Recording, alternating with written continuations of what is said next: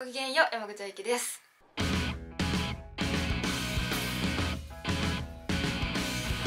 えっと今日はあのリクエストが多かった歩兵の本領を歌いたいと思います。この曲ですね10番まであって結構長いんですよね。でもあのやっぱり10番まで歌いたいなっていう気持ちはすごくあってでも、まあ、尺的にちょっと長くなっちゃうかなと思いますので歌詞が変わってるんですよねこの曲。でその歌詞が変わる前の歌詞で歌いたいなと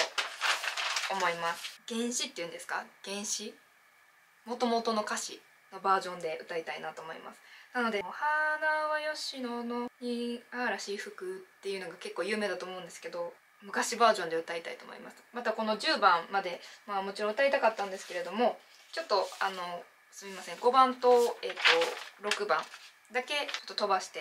あとは1番から2347890と歌っていこうかなと思います。なんかこの曲はその3番の、えっと、84箇所に「たむろして」っていうっていうのがもともとは74箇所だったそうなんですけど連帯がこう増えて、まあ、84箇所に歌詞が変わったそうなんですけど、まあ、時代ごとにねいろいろこうみんなが変えていこうっていうので変わっていったのも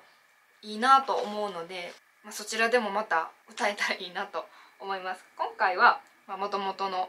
歌詞のままで歌いたいなと思います。でこの曲できたのが、えーと、明治44年、え陸軍中央幼年学校、え後の、え陸軍予科士官学校。で、まあ、よく歌われていて、まあ、100日祭の時に発表されたそうなんですけどもかっこいい曲なので、えー、精一杯歌っていきたいなと思います。頑張ります。